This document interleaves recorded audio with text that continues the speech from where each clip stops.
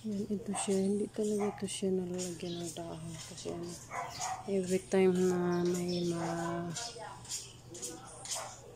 may dahon na tutubo. Yan. Dumadating yan sila. Yan. Tapos kakainin nila. Yan tuloy, upaw din. Parang kalbo lang.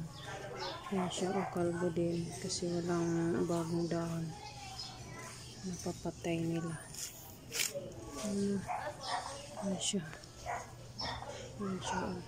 Yan, malaki-laki na yan. Dahil lang, magiging butterfly na yan. Mga ilang araw maglilipad na yan. Yan siya.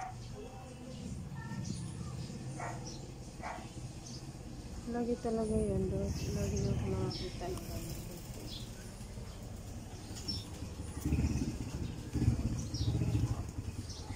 Yan. Sa mga plants po na ano, malaki na sila.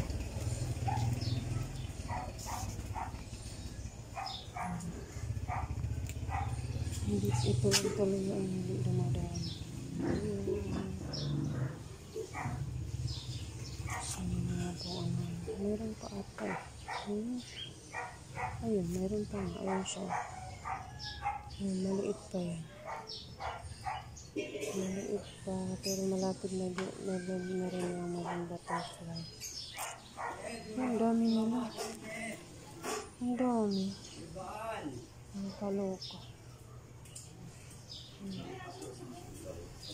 Ba, hindi talaga yung nagkakadahan.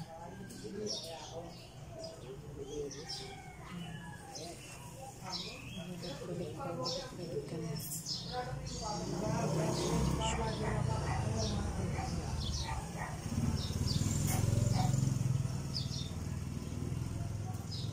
sa lupa. Ayan.